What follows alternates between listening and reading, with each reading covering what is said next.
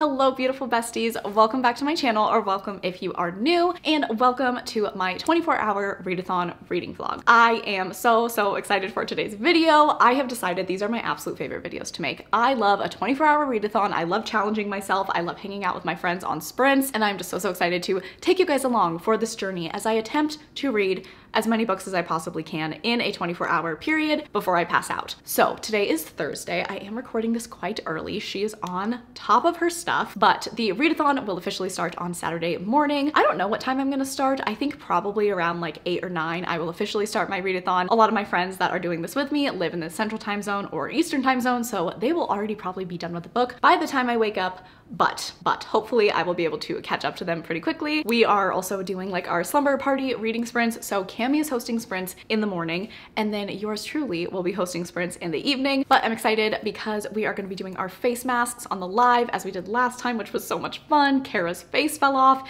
It was wonderful. So let's get into my TBR for this weekend. The last 24 hour readathon that I did in the month of February, I messed up. I played myself because I did not have a plan. I didn't have a TBR going in. I was like, I'm just gonna mood read through my day and see what happens. Yeah, that was bad for me. I am somebody personally who needs structure and routine and a plan. I thrive in that setting. When I just let myself go loosey-goosey for a day, it doesn't always work out. And while I did read three books, I will say I read three books. That is very good for a 24 hour readathon. I just didn't feel super accomplished and it was a struggle to finish the last one. And I wanna go in with a little bit more of a strategy this time and hopefully be able to not only get through four books, that is my goal, but also hopefully find some new favorites. Even though I am picking books that are gonna be a little bit easier to get through, I still want to really, really enjoy the books as I read them. So let me talk about my plans thus far for Saturday. So the first book that I will hopefully be reading during my 24 hour readathon is going to be The Hawthorne Legacy by Jennifer Lynn Barnes. This is a YA thriller. I read the first book, The Inheritance Games, a few months ago. Look, it's not amazing, but it's very fun and you just fly through this book when you read it. There is a mystery aspect and honestly calling it a YA thriller probably isn't accurate. It's more like a YA mystery, but the mystery aspect of this book is intriguing enough. This series is basically like Knives Out, where our main character is just like a regular girl and then she finds out that this billionaire in Texas left her most of his fortune and his whole family is trying to figure out why. So they bring her kind of to the estate and they have to go on a bit of like a mystery treasure hunt to figure out the secrets that this guy held and what the connection to our main character is. As I said, not an amazing book. The main character did make me roll my eyes a couple times, but it's fun. It's a good time. And there is still like a lot that we don't know that wasn't answered in the first book that I, for one, am curious about. So I'm gonna finish out this trilogy. This is the second book. I think that this is going to be a really fun book to read during the readathon.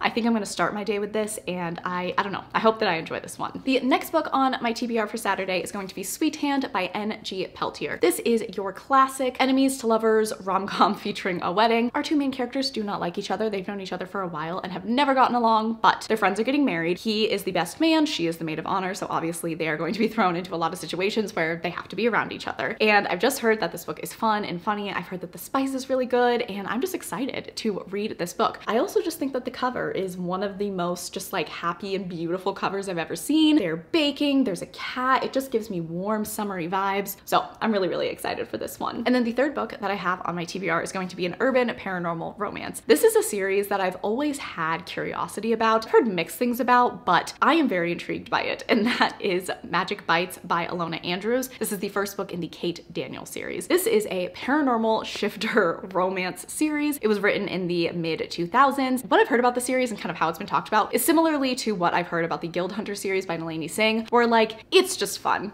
it's a good time. It might not have a ton of like incredible world building or fantastical elements, but the romance is good. It might be a little bit cheesy, but it's like a good time. And sometimes we need that in our lives. So I'm going into it with that mindset, but I do think that I have the potential to really, really enjoy this. So our main character, she is Kate Daniels, as you can see on this very mid 2000s cover. She's a mercenary. She lives in Atlanta and we just gotta follow her while she deals with the things that happen when you are a mercenary in a shifter world. I don't know if she's a lion or maybe she falls in love with the lion shifter or maybe the bad guys are lions. Who can say? But I, for one, am very excited to read this and I hope that this will be a book that I just really fall in love with and I can read all the rest of the books in the series and it'll just be a series that I go to when I just want something quick and fun and just to get a little bit of a paranormal romance fix. So I have high hopes for this one. I think it's gonna be really fun. Okay, so those are the first three books that are on my TBR for Saturday. I'm really excited for all three of them, but I need to add a fourth book into the mix. And specifically, I need to add a shorter book, you guys, to that that group. None of those books are like crazy long. I don't think any of them are over 400 pages, but I want to go into this 24 hour readathon with a strategy and try to help myself out here. So I need like a graphic novel or a novella or something like that. So what I am going to do right now, and I'm going to take you guys along for it, is I'm going to go to the promised land, aka Barnes & Noble, and try to find something that's on my Goodreads TBR that is a little bit shorter and a book that I'm interested in and excited about, but something that will hopefully be just a little bit uh, shorter and less challenging to get through on Saturday. I'm actually gonna walk there because it is 55 degrees and sunny, which in Washington, that basically means it's like 70 degrees. So I'm going to take advantage of this weather and I'm gonna walk to Barnes. I haven't done that in quite a while, but I think it'll be fun. I'm gonna listen to my audiobook that I'm reading right now. And um, yeah, I'll take you guys along and we will see what I end up picking up. So that is it. That's the intro for this 24 hour readathon. I'm gonna go to Barnes right now. I'll take you guys along for that. You'll see what I end up picking. And then I will talk to you guys on Saturday when the readathon has officially started.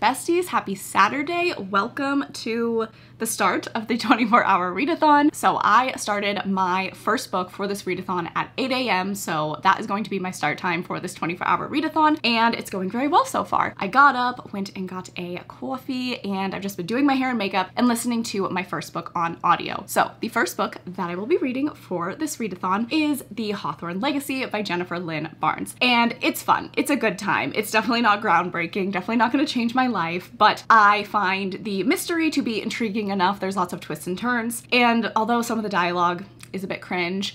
I'm still engaged enough in the plot that I don't really mind as much. I don't know, but I'm having a good time and I'm curious to see where this book goes. So going to be focusing on this book for the first part of the day. And I am, let me see, I'm on page 124, so I'm about a third of the way into it. And these chapters are just so short and this book reads very quickly. So I definitely think I'll be able to get this done pretty soon. And as you guys saw, I went to Barnes & Noble and I ended up picking up one book for this readathon and then I ended up getting a little bit distracted by the other things there. Who can blame me? I'm sorry. But I ended up picking up Every Heart a Doorway by Seanan McGuire for today's readathon. So it's definitely a popular fantasy series here on BookTube. Hannah absolutely loves it. It's one of her all-time favorite series. And so I was like, you know what? Why don't I check that out? Why don't I give it a shot? I've never read a book by Seanan McGuire and I just hear a lot of people talk about that series and say that they really, really enjoy it and it's very magical and it's pretty short. So hopefully I like that. I'm also going to be reading Magic Bites by Ilona Andrews, as I said. And then I have Sweet Hand by N.G. Peltier. And then I also grabbed The Heart of Betrayal, which is the second book in the Remnant Chronicles by Mary E. Pearson. I grabbed that just because I don't know if I'm in the mood for a contemporary romance today. I'm kind of just more in like a fantasy mood, I say as I'm reading a YA mystery,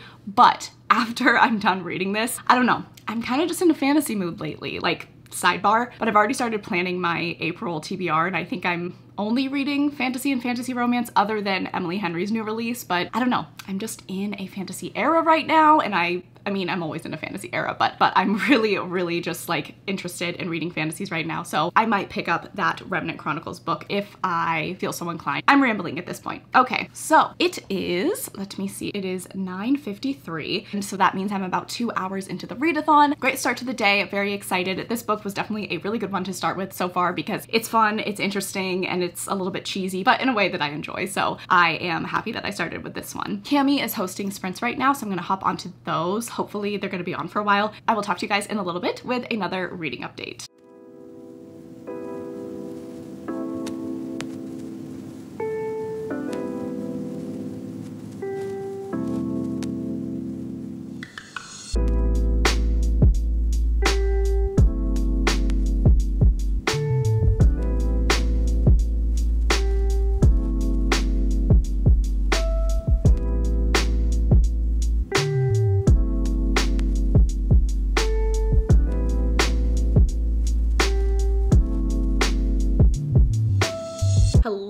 Gorgeous besties. I have very exciting news. I finished my first book of this 24 hour readathon. That is of course The Hawthorne Legacy by Jennifer Lynn Barnes. I don't really know how I feel about this one. I like the first book better. I think that things got a little bit too convoluted for me in this one in regards to the plot. The entire plot of this trilogy is a little bit convoluted, but this one I feel like we were just really shooting for the stars here. I don't know if I was on board, but like I had fun.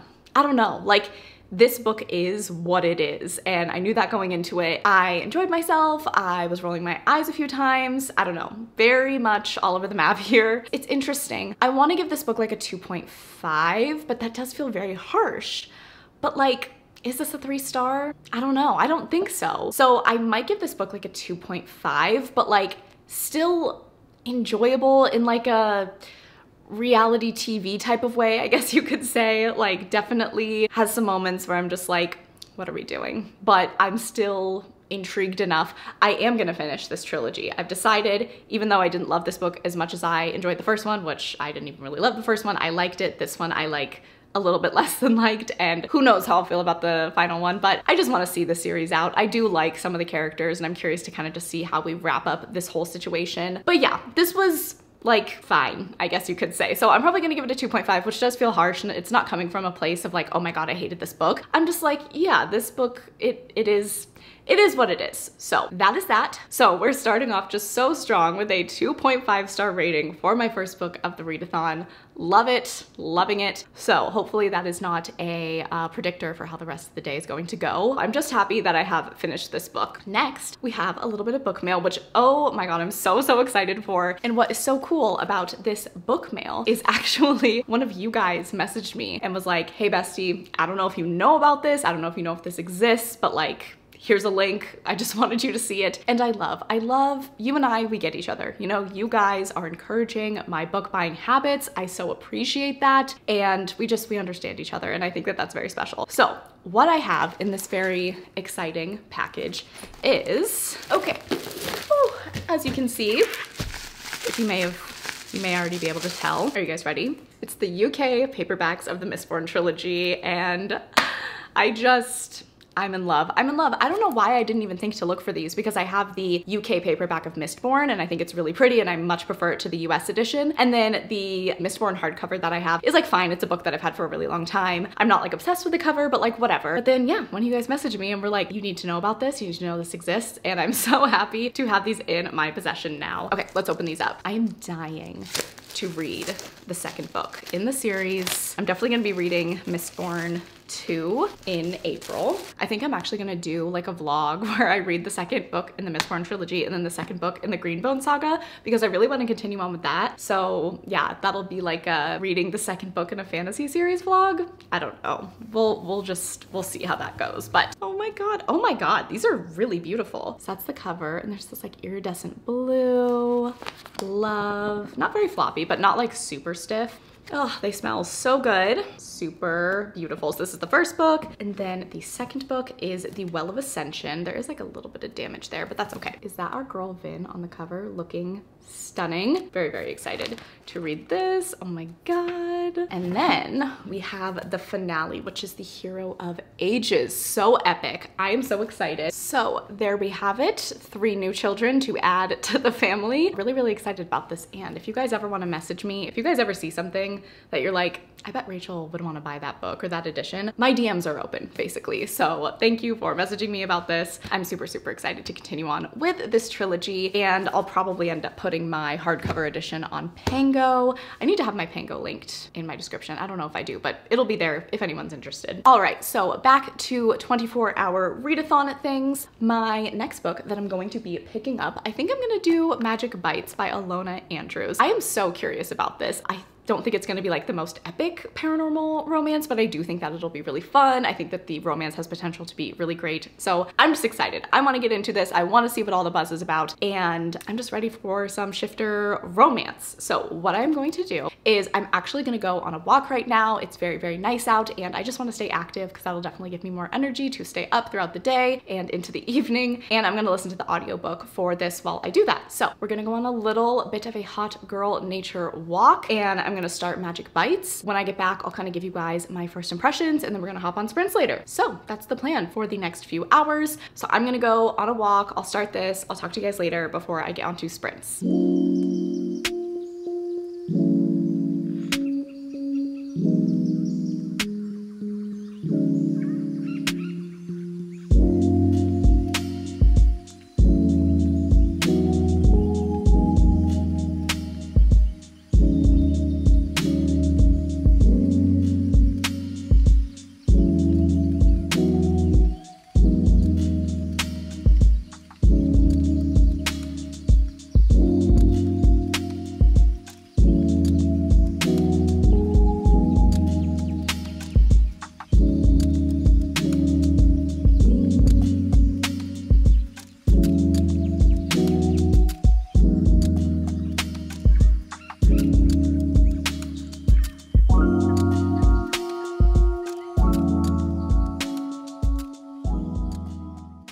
Hi guys, so it's just a little bit later. I just got back from my walk. It is so nice out and so beautiful and I had a really, really nice time. I'm glad I did that. I feel energized, I feel excited. Less exciting is I started Magic Bites and I have decided to DNF Magic Bites at 20%. I'm really sad. I hate DNFing, I hate it. I totally agree that like if you're not enjoying a book, you should DNF it and that's okay, but it still leaves me with this like empty feeling whenever I decide to DNF a book. So uh, I hate that I'm DNFing this, but honestly, like I'm just not enjoying this. And that's unfortunate because I was very excited by the premise of this. Our main character is Kate Daniels. She is a mercenary in this kind of paranormal fantasy version of Atlanta. And the novel starts with someone very close to her was murdered and she's kind of trying to figure out what happened. That's all fine and cool. Kate Daniels, you know, she's a badass. She's a girl boss and and that's really great. And I really appreciate that, especially this was written, let me see, this was written in 2007. So like love that, love the strong female lead. But number one, I feel like we were literally dropped into the middle of this plot in this world and I just feel like I don't really understand the even though it's like kind of modern day Atlanta there are like fantasy aspects the paranormal aspect the magic systems things like that that have not been explained and I just kind of feel like I don't really know what's going on I don't really understand these dynamics between these people. So I do feel confused and I did see other people say that on Goodreads so I think that might be like a thing for this book that you kind of just get dropped into the middle of it. Also something that I just don't like about this book is there is just language and wording that is used in here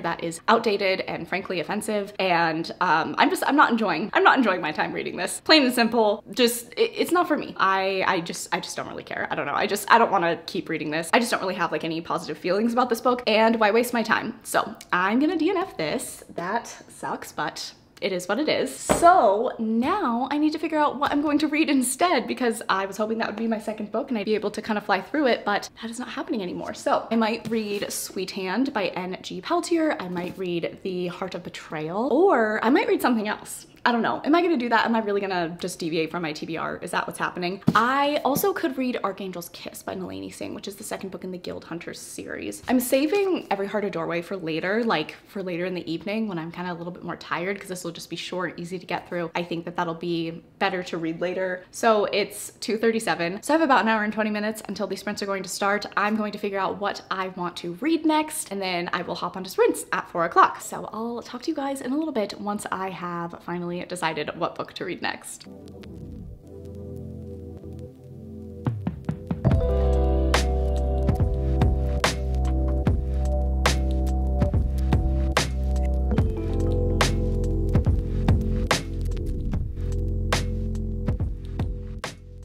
Hi friends, so it's a little bit later. It's like 4.45 right now. We started sprints on my channel at four o'clock and we are now in our first sprint. I have not hosted sprints since July, like during Questathon, so I feel like it's been a very long time. So I did start my next book and that is Sweet Hand by N.G. Peltier. So this is an enemies to lovers contemporary romance. Our two main characters are the maid of honor and then best man in their friend's wedding. And they've always just kind of not gotten along, sort of have always butt heads, but obviously because in the same wedding, they have to work together and be around each other. And so far, I think that this book is really cute. I really like our two main characters. Our male love interest, he is a music producer, and then our female main character, she is a baker. Anytime there is cooking or baking involved, even as like a small subplot, I'm always gonna be excited about that and enjoy that. And I like the friends and family that we have met so far in this book. There's definitely just a happy and fun feeling with this book. And I love the wedding shenanigans. So thus far, I'm liking that. And we have had some like pretty decent conflict between these two and I'm excited to see how we're gonna turn things around between them. So those are my first impressions. I'm just a little bit into it. I'm on page like 92, so still pretty early on, but I'm excited to read more. So I think that's gonna be it. This is gonna be a very short check-in, but I just wanted to say hello, let you guys know what I'm reading. I probably won't check in until I'm almost done with that book or I have finished it. I'll kind of give you guys my final thoughts if I decide to not check in until after, but I have about maybe like two hours left of the audiobook, so I'm gonna try try to work on that. So I will talk to you guys in a little bit. Hi friends. So it has been several hours since we have last spoke.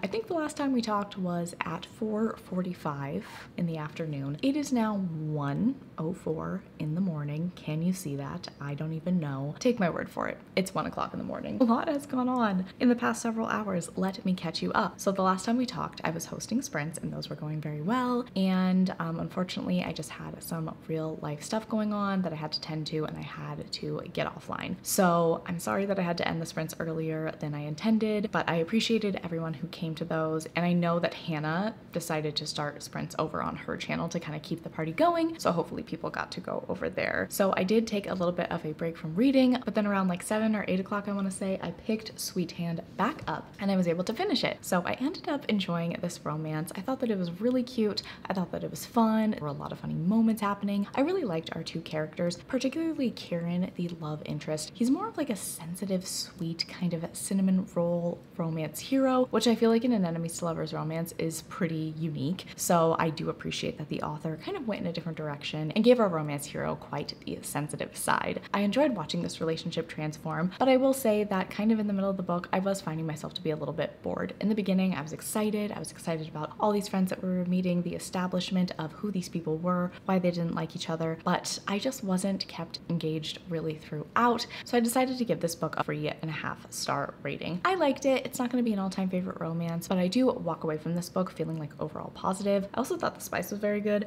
So like I liked this, just not going to be like my favorite romance of all time, but still very, very cute. All right. So then after I finished Sweet Hand, I was like, okay, I want to read my final book for this 24 hour readathon because let's like do some housekeeping here. Okay. I have read The Hawthorne Legacy, two and a half stars, Magic Bites, DNF. And then I read Sweet Hand, which is a three and a half star, which that's a good rating. But I'm like, I gotta read one more book. I want to try to end this on like the highest note possible that I can. So I decided to pick up Every Heart a Doorway by Seanan McGuire. Are we joking? I am mad at myself. I am so furious with myself at this moment in time because before a couple of days ago, before I was searching for a short book to read during this 24 hour readathon, I had zero intention of picking this series up. Not for like any reason. It's just one of those series that I was like, eh, I don't think I'm ever gonna read that, whatever. Tell me why this is already a five star and I haven't even finished it. I am 50% of the way through with this book. I knew it was gonna be a five star on like page 20. I, God, it like freaks me out. Okay, do you guys ever think about this? do you guys ever think about this? That like there are books out there that could be like your favorite book of all time, but you might never read it just because like you might not ever have the chance to pick it up or you just go like, I don't want to read that. Like, eh, I don't I don't really care. I'm not going to pick it up. But secretly that could be like a five-star amazing life-changing book for you and you would never know. Does this keep anyone else up at night? No? Okay. Well, this book, I feel like we could file under that for me because truly, I was never gonna pick this series up. And like, I had no, you know, no bad blood between Seanan McGuire and myself. I just like didn't think that I was ever gonna read it, but I was like, you know what? Hannah likes the series and I need a short book for the 24 hour readathon this weekend. So I guess I'll pick this up. This is incredible, amazing, stunning, perfect, show stopping. So, very quickly, if you don't know what this book is about, so this book, kind of the whole premise of this series, is the idea of when children in like fairy tales go into another world, what is it like for them when they come back? So, like, you know, for example, when Alice went through the looking glass, what was it like when she came back to reality? When Lucy went through the wardrobe and the Lion, the Witch, and the Wardrobe, what was her life like once she got back to the real world after she spent years and years off off in this fantastical Narnia. So basically, Eleanor West's Home for Wayward Children is almost kind of like a transitionary home for children who go through magical portals and doorways, essentially, go live these fantastical lives in these amazing fairy tale worlds. And then they come back and they just don't know how to cope. They don't know how to exist in reality. And a lot of times their parents send them off because they're like, their parents don't believe them or they're like, what are you talking about? And Eleanor West owns this home and takes these children in and kind of just tries to help them. And it's such a cool concept. It's such an amazing concept. And I am just like so, so into this book. I'm so excited. I want to buy the entire series now. I really, really like Seanan McGuire's writing. It is weird and whimsical and bizarre and fun and haunting and amazing. And there's been some quotes that have like hit me really deep. And oh my God, okay, let me see if I can find. Basically, for context, our main character, Nancy, she meets a character who says that they are on a diet and they said, Oh, my blood is so iron rich, you could set a compass by it. So, you know, basically they're saying, Oh, I'm on this diet, you know, so that I have very iron rich blood. And then Nancy thinks to herself, she'd known girls on diets her entire life. Iron rich blood had rarely, if ever, been their goal. Most of them had been looking for smaller waists, clearer complexions, and richer boyfriends, spurred on by a deeply ingrained self loathing that had been manufactured for them before they were old enough to understand the kind of quicksand they were sinking in. How dare you, Seanan McGuire? How dare you say that last sentence? The spurred on by a deeply ingrained self loathing that had manufactured for them before they were old enough to understand? Ouch. Um, yeah, so the writing is really, really great in this book and it's just cool. It's just a very whimsical fairy tale. I don't even know. I'm just, I'm really, really liking it. It's kind of hard to explain, but we have met a really great cast of characters. Nancy is like, I guess our main character. There's a lot of like main characters I feel like in this book, but we're following Nancy who recently came to the Wayward School for Children and she had gone to another world and is, you know, grieving that and really, really missing it. She is also asexual. We also have a transgender character that we met named Cade, and I've just really enjoyed meeting all these characters, seeing their stories, bits and pieces. I am hopeful that we're gonna get a book on Cade, that we're gonna get a book on Jack and Jill. I am just so ready to dive deeper into this series, and I just wanna know everything. And these books are so short, but I feel like Sean McGuire is doing a good job of giving us a lot of information in a very digestible and beautifully written way. So I feel like this is a hit. I'm not gonna say it's officially a five star yet because things could go downhill. I doubt it, but I'm gonna hold off my rating until the end, but I'm loving this. Like I literally had to stop myself and go, oh, I need to film a vlog check-in because I'm like gonna finish this book in the next probably like 40 minutes. So that is the plan. I'm going to finish this book and I'm actually gonna try to edit this vlog and get it up for this morning because it is technically Sunday morning. So hopefully you'll be seeing this on a Sunday morning. So this is going really well. I'm so, so happy that I picked this up and that I'm reading it for the final book of the readathon. It just, it feels really nice to end on such a high note. So that is it. Um, I'm gonna finish this and I will talk to you guys once I'm done. Hi. Oh my God. I'm exhausted. It is 2.08 in the morning. It's time to wrap this puppy up. So I finished Every Heart a Doorway literally just like 30 seconds ago. This was so cool. Oh, I'm so happy that I read this. This was such a unique and just like refreshing book. Really, really great storytelling. And it took like kind of a darker turn towards the end there. And I thought that that was cool. I don't know. This book just, this book just really, really was able to take me on a journey in a very short amount of time. I'm so excited to see what the rest of the books in the series are like. This felt very whimsical and fun and cool and weird and kind of dark at times. And I'm here for it. So I gave this book five stars, which what a way to end the 24 hour readathon. To do a little bit of a recap. So the first one was The Hawthorne Legacy. Fine, good, Mr. Perfectly Fine, some might say. Also, Taylor's outfits at the Eras Tour. Can't talk about it. We'll talk about it some other time. Number two, Magic Bites, DNF.